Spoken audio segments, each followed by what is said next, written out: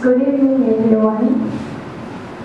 Um, today we is our uh, speaker about uh, megafauna in ghost gear, Closer uh, He been a founding member of, of the region and he has been researching on ghosts and he is currently a PhD student in the University of Georgia. So he's going to share uh, this information. Uh, so I'll leave Martin. Thank you. You very much. Um, just to kind of reiterate what, what she was saying, my name is Martin, I'm the founder of the Olive Ridley Project. It's a UK-based charity with the aim of uh, taking a look at the impact of ghost gear and also promoting the conservation of sea turtles in the ocean. Over here, let's listen to the speak for that hour or so, so I'll try not to keep too much of your time. Uh, today I'm going to talk about uh, the effect of ghost gear entanglement on megafauna. Um, the, all this information can be found on, uh, I'll actually share it with the IUCN, I'll share it with you guys, and then you guys can give it uh, to everybody in the room. It was a paper that was published early this year, and it's a, a global assessment of marine uh, megafauna and ghost gear entanglement. Uh, so all the information that I'm going to give you today uh, will be in this um, paper, and more than happy to share that with you if you'd like to have that. Okay, so just to make sure that we're all on the same kind of level, uh, what is ghost gear? Well, ghost gear is any abandoned, lost, or discarded fishing gear. Uh, it can come in. It can come in many different forms. It can come in the form of nets. It can also come in the form of fads, which are fish aggregating devices, which float on the surface and collect lots of fish. And it can also come in the form of uh, also come in the form of traps and pots. There's many different forms that fishing gear uh, can come in the form of ghost gear. Now, what causes ghost gear? There's many different reasons. Fishermen can by accident lose nets, but more often than not, uh, they're lost during uh, during operational uh, procedures. So, as the fishermen are using their nets and they're on the reef, they get snagged on rocks, they get snagged on wrecks or whatever it is on the bottom, and they lose fragments and pieces of nets in that way. There's also a slightly sinister way of losing nets, uh, especially when there's conflict between gear, uh, gill netters and trawlers. Sometimes that is also uh, the case. Now nets can be found, or ghost gear can be found anywhere in the water column. It can also be found on beaches as well. So you can find it completely submerged, just under the surface, on the surface, or also on the beaches. What is megafauna? Well, literally translated, mega is large, fauna is animal. So we're talking about large animals. Uh, mainly the marine mammals, which include the seals, the sea lions, uh, dugongs, manatees, whales and dolphins. They're what I'm going to be focusing on in this review. Marine reptiles, uh, mainly in this review, we're going to be talking about saltwater crocodiles uh, and also sea turtles. And the last branch, which of course includes uh, the uh, sharks, skates and rays. Why am I focusing on megafauna? It's a pretty good question because obviously there's lots of other species that are certainly affected by ghost gear, particularly fish and all sorts of crustaceans. Well, there's a few reasons. Um, megafauna are classed as a K-selected life strategy, which basically means, um, sorry, when compared that to something like fish or crustaceans that have an R-selected uh, strategy. Now, a K-selected strategy or lifestyle have fewer offspring, low fecundity, but that's what we refer to. And generally speaking, their offspring do survive to an, an older uh, age because there's some sort of parental guidance or care. Very different to an R-selected life strategy such as fish, which generally spawn, and there's no parental guidance or care after spawning. Um, they also have a long life expectancy, something like a sea turtle can live for maybe 20, uh, live for 75, 80 plus years, similar with whales, even hundreds of years in some instances. To crustaceans and fish, which have a very, very short lifespan in comparison. Uh, they also have a, a lower age, um, a higher age of sexual maturity. Again, good example is a sea turtle, 25 plus years to be sexually mature, where you compare that to a fish, which is a lot shorter, could be a few months, or at most a couple of years. So this is why we're focusing on megafauna, because they are really sensitive to uh, anthropogenic threats. Their populations are extremely sensitive. Now globally, we're facing a bit of a crisis. How do we feed 9 billion people on the planet that is estimated to be on this planet by 2050? Currently, we have around 7.4 uh, people on the planet. And it's estimated that around 31% of the world's fish stocks are uh, biologically overfished. Uh, so basically, we're fishing at a rate and they're not being replaced in time. So that's kind of what that means. And that's 31% of the total fish stocks.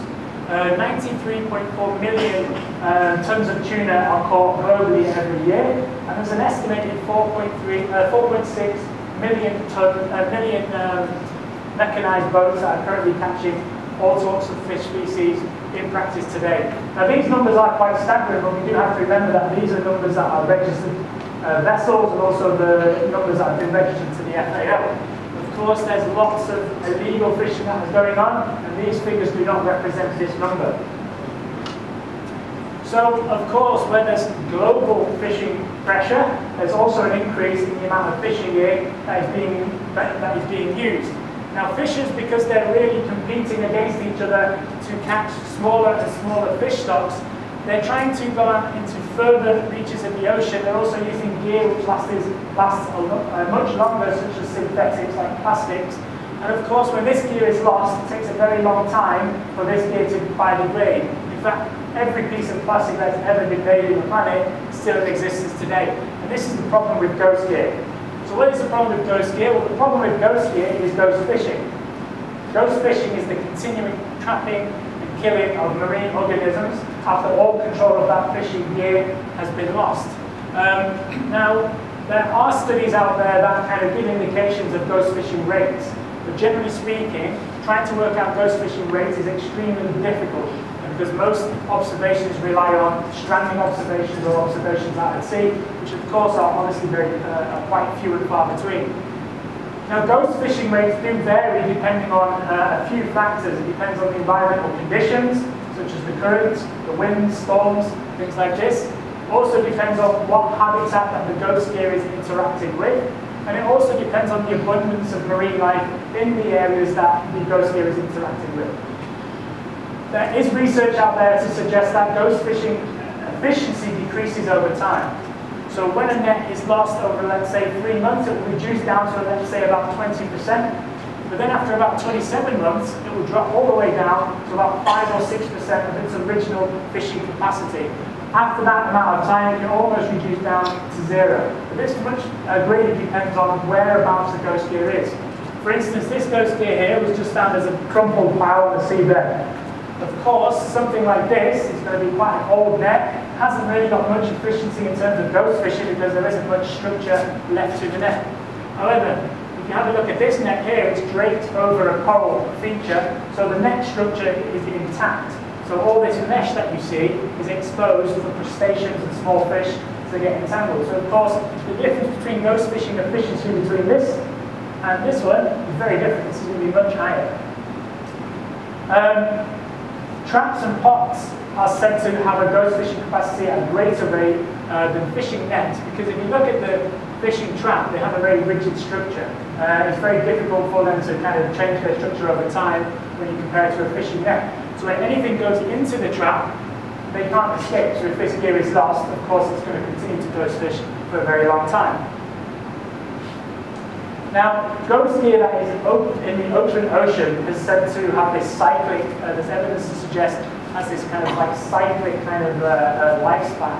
Basically, ghost gear will start, sorry, ghost gear will start its life uh, uh, on the fishing boat here.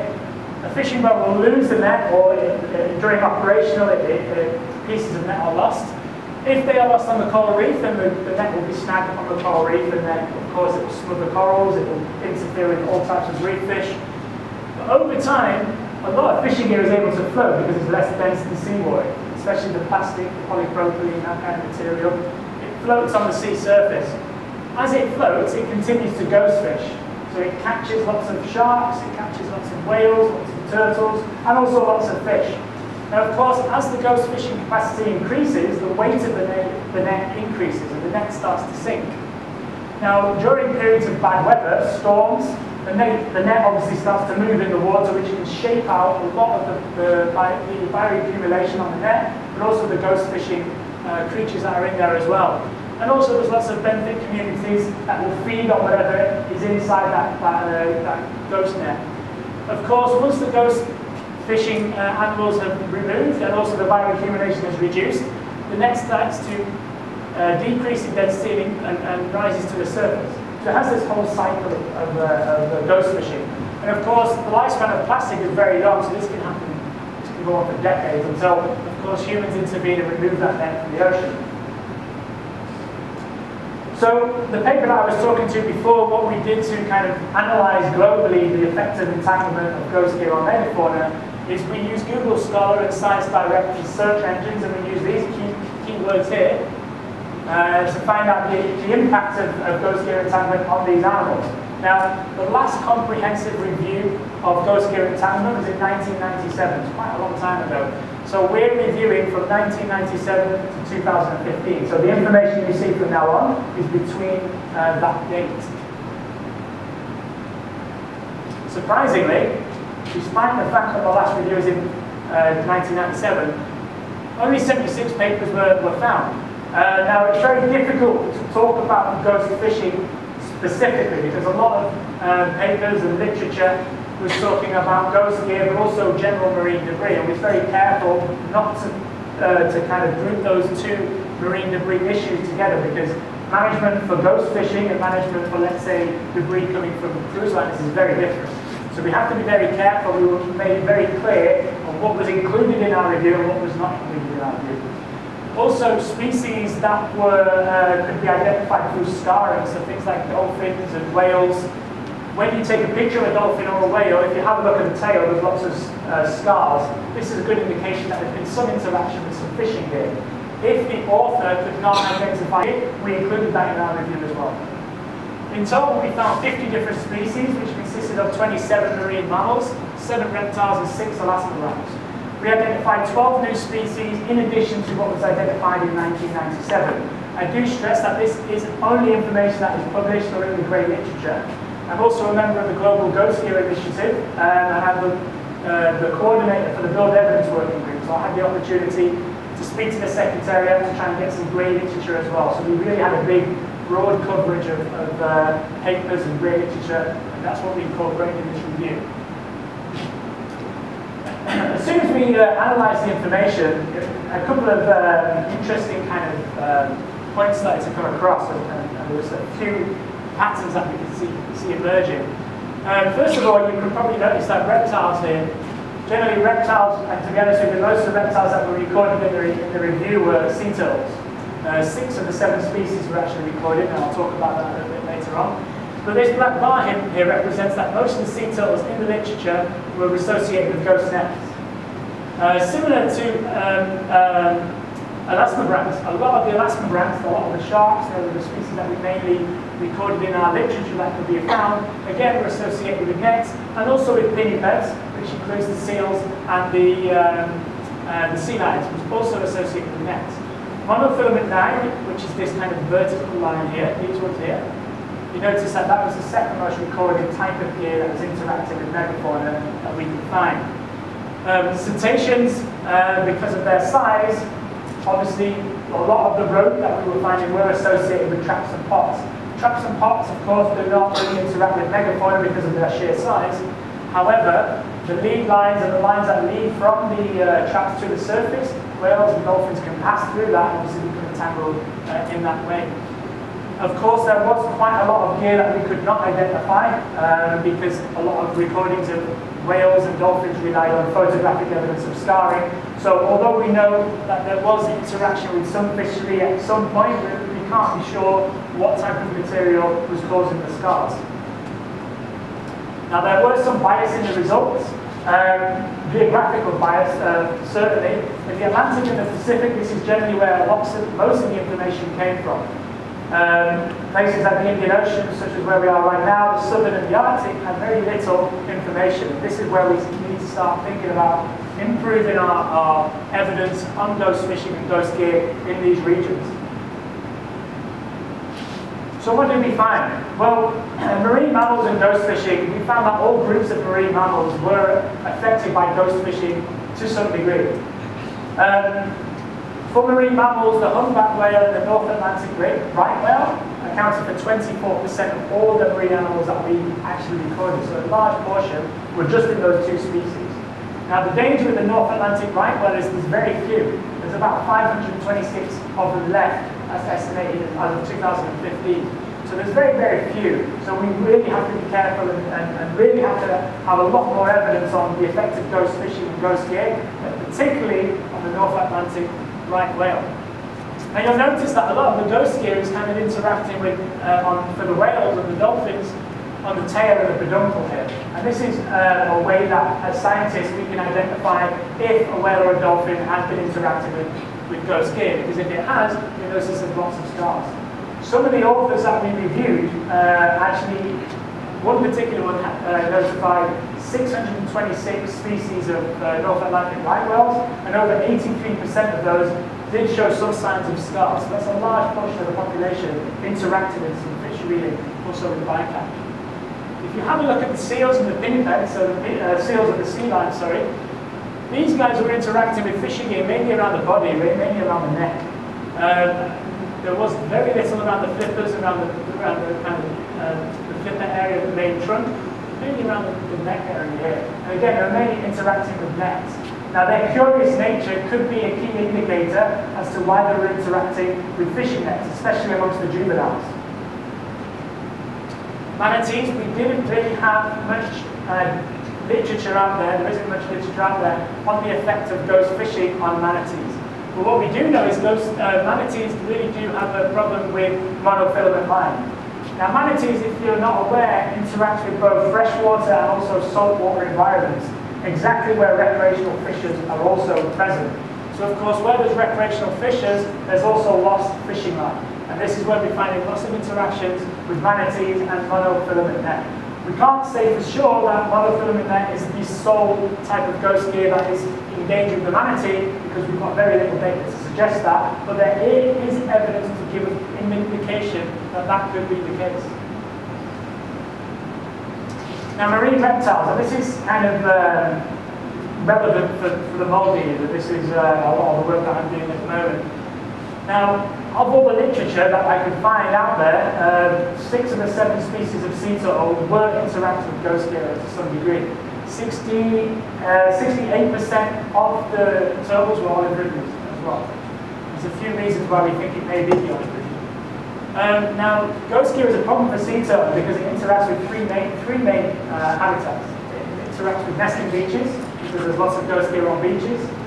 Um, it interacts with their coral feeding areas, so really shallow areas, and it interacts with the open ocean where there's hatchlings, and where there's species like the leatherback, and also the olive ridley. And so it really does interact with every single type of habitat that the sea turtle can be found in. Um, now there are some studies to suggest that adults were more uh, susceptible to ghost fishing than juveniles. And there was uh, a theory that the reason for this is because juveniles were, too, were small, they were able to escape the net. However, in the Maldives, our studies would actually contradict that because most of the, most of the olive ridleys that we find in our area are actually uh, juveniles and subadults. So the main reason for that is we're not actually quite sure and we're in the process of trying to find that out as we speak.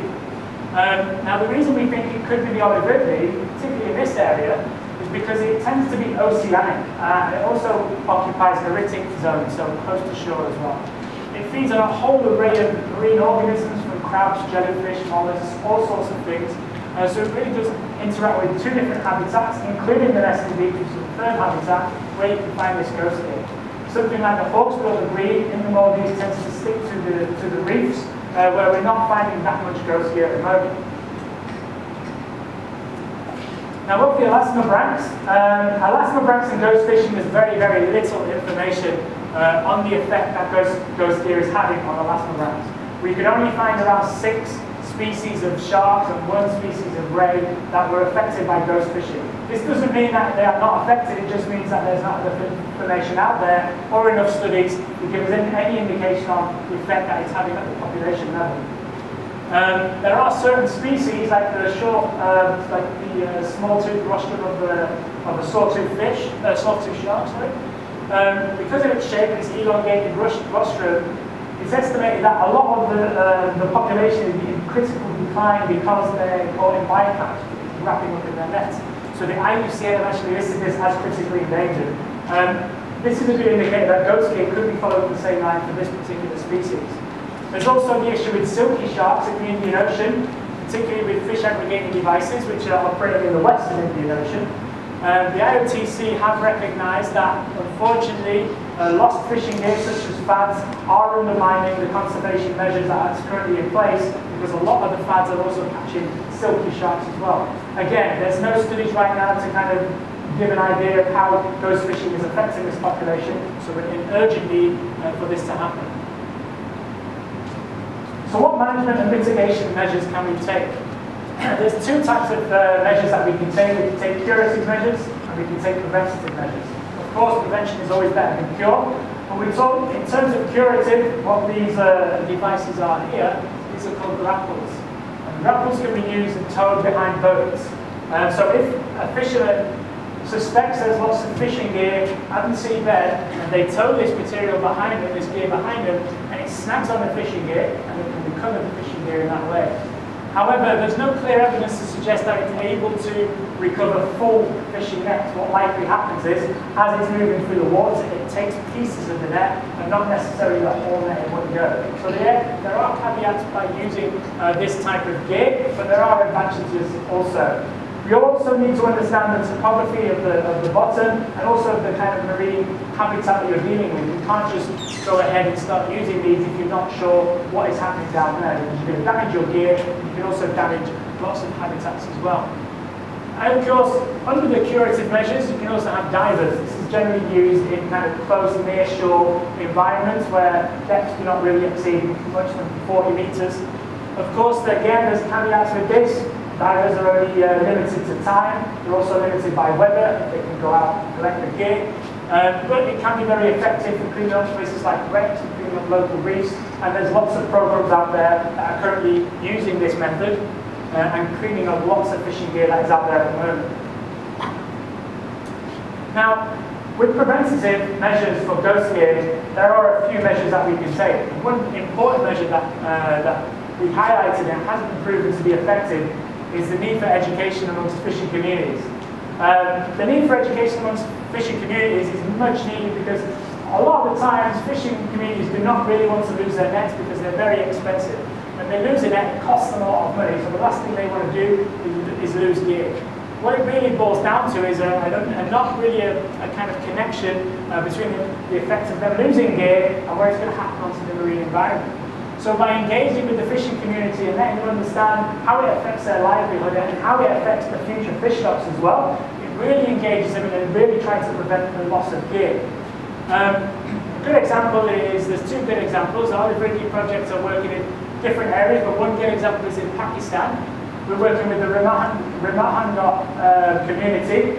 There's around 150 fishing boats, which consists of around 800 fishing uh, individuals within that fishing community. Before, when they were coming to the end of their life of fishing gear, instead of just disposing it correctly, they were just dumping it on beaches. Sometimes they were also throwing it overboard. We've been working with them for the past year or so, uh, and now they're actually, through the education and through the outreach, they're starting to recover their own gear. So they're working on really important nesting beaches, green nesting beaches, green soil nesting and also gear that is no longer being used, they're starting to recover that, and they're collecting it, and they're giving it to us, and we're starting to reuse that gear in things like art installations, we can use it in construction, a whole other array of different, uh, different uh, ways. Uh, these guys have collected in total 30 bags, which is about two or three truckloads of, of gear, completely off their own back. We haven't told them to do it, they've just done it. So it's been a really effective way, of proof that education really does work. Another good example is Ghost Nets Australia, in uh, uh, the Gulf of Carpentaria, north there.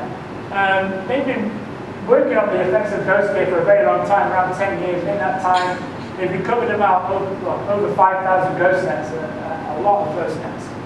They've been working with indigenous uh, Aboriginal people in Australia, and they've been basing their kind of relationship on a level of trust. So they've been working with them really closely, they've been educating them, uh, they've been kind of constantly in control the beaches and start recovering their gear, recovering their gear. And this isn't paid work, they're doing it because they understand the implications of lost gear on the marine environment.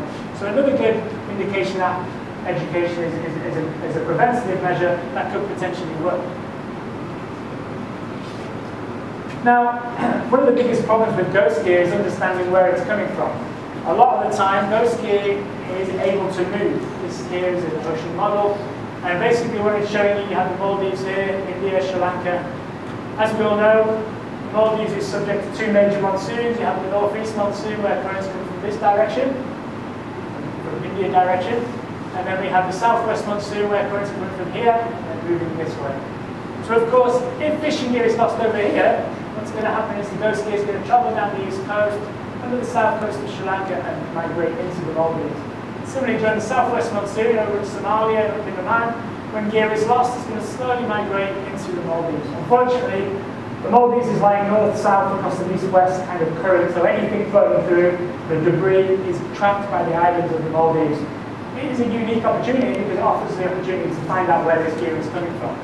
But it's very difficult because just because the gear has got markings on them, particularly with their buoys and with their uh, man-made uh, sort of uh, artisanal buoys like bottles and things like this, doesn't necessarily mean it's come from that country um, because sometimes fishing gear can be improvised. But there are a few ways that we can work this out. We can use drone technology, which can be used locally and regionally, drone technology has its limitations, of course. It's only uh, possible to use a drone within a certain radius, maybe two miles. It also, although it can detect gear, it can't remove gear. Uh, but you can also attach sensors, different sensors to drones, which can potentially look at temperature. You can also identify convergence, zone, uh, convergence zones and eddies, because these are accumulation points for, for lots of marine debris. And if scientists understand where these accumulation areas are, we could potentially go out, run expeditions, clean these areas up, but not only that, try and work out where gear is coming from. Ocean models are also very useful. Um, we can use different models to try and identify a potential source. Right now we're collecting lots of information on the types of gear that we're, we're finding in the Maldives, and we're trying to work on a project with the University of Exeter um, to create a model so that when we find gear, we can have a timeline and try and trace it back to an original source. If we can trace it back to an original source, we're not, we're not pointing fingers and saying, why are you losing all this gear? It's more for us to know where this gear is coming from so that we can uh, implement and, and push all our resources into these regions. Right now we're kind of working blind because we don't really know where, we, where this gear is coming from, so we're kind of working all over. So we can fine tune our resources by through this model. And here, then there's a really good chance of, uh, of helping communities out. Gear marking is also a big topic. Recently, the FAO are right now holding a, a big seminar in Rome on the impact of uh, lost fishing gear, uh, but also a possible prevention, of, which is a possible solution, which is the use of gear marking. So if we can use gear marking, when we find fishing gear, we know that that uh, specific gear is from a, a specific region. It's a very, very useful tool, it's one that we're working on right now as we speak, and potentially could be very successful in the future. When we assessed um, all the literature in the uh, out there that's on, you know, online and in the grey literature, we noticed that ghost gear and marine debris were kind of grouped together as kind of one entangling hazard, um, which of course gives an entanglement mortality rate for species, but it's very difficult to identify the specifics of ghost fishing and ghost gear on marine species when it's grouped together with lots of other marine debris like plastic bags, uh, the bottle uh, holders, tires, clothing, all this kind of debris which also entangles marine life. Now the reason we need to separate the two, two types of marine debris is because the managerial decisions that are going to be used for ghost fishing are going to be very different from plastic bags or let's say tires or clothing or other types of marine debris. So there's an urgent need for future science and future research and when we are looking into the research we need to make a clear distinction between ghost gear and general marine debris. Science is very difficult in science sometimes to collaborate sometimes in science, when we have a database and we're collecting all this information, scientists want to keep their information, they don't want to share it. If we have that mindset, nothing's going to change. We're going to, we're going to, we're going to be in an environment where everybody's keeping hold of all this information and nobody can do anything about it. We notice that there are lots of organizations, NGOs, even governments that are collecting data on ghost fishing, but a lot of the times this information isn't published. So you'd be literally spending your, your entire life on the internet looking for all these uh, singular cases of ghost fishing. But collectively, you can make a, a it's a lot of information that is uh, missing from this review. So there's an urgent need for us to collaborate. uh, we need to start collaborating on the types of ghost gear that's being found. We need to start collaborating on the types of uh, the types of organisms that are being uh, entangled. And what we recommend is uh, potentially creating regional databases uh, for the Atlantic, Pacific, Indian Ocean, these type of regions, uh, on the types of ghost gears that are being found. But also regional databases on the types of marine organisms that are being found solely to do with ghost gear not general marine debris. Because if we're linking general marine debris, as I say, we can't get an idea of ghost fishing and the effect of ghost fishing on populations. So this is really important. Sorry, this is really important and there's an urgent need for collaboration. Thank you for listening. And if anybody has any questions, we're more than happy to answer them for you. They, they require that the netting and the traps and all that have some kind of simple, like, I don't know, GPS locator or something, so that if they're lost, then they'd be able, to be able to detect them yes, equipment? Onto the traps and pots. Uh, but for the most part, let's say in the map, for instance, a lot of the traps are artisanal traps. They have no, they don't have the resources to buy trackers, which are obviously quite expensive. So they just use visual cues and environmental kind of cues to know where their gear is. But of course, when storms pass through, they lose track of where their gear is. A good idea for, we're talking about traps and pots, would be potentially having a mechanism where um, over a period of time there's a, an opening, like a, an exit point, and biodegrades over time. So gear is lost, let's say six months later, there's a huge opening, it allows any ghost catch to actually escape. This is one, and certain regions are actually implementing this, in Scotland I believe, in the UK they're doing a, a project kind of based, sorry not Scotland, in Wales, they're doing a project that is based on this. Easy for the fishermen to implement. They just cut a little rectangle out of their trap. They put this kind of door, this trap door in, and then over, let's say, I think it's a year or maybe, quite sure on the time scale, over a certain amount of time, it biodegrades, and then obviously anything that's trapped in there is able to escape all the time. And then if the gear hasn't been lost, the fishermen just replace uh, that, that rectangle panel. So it's really effective, and it's one that would really work for traps and pots In terms of trackers, some do, most don't. If you don't have any questions, uh, we thanks Mari for the interesting lecture. Was a very interesting research on the doorstep. Uh, so uh, we do have refreshments after uh, outside the auditorium. Thank you all for coming here and uh, there's a sign-up sheet, so please fill in the details so that we can keep you updated on the next series. Thank you.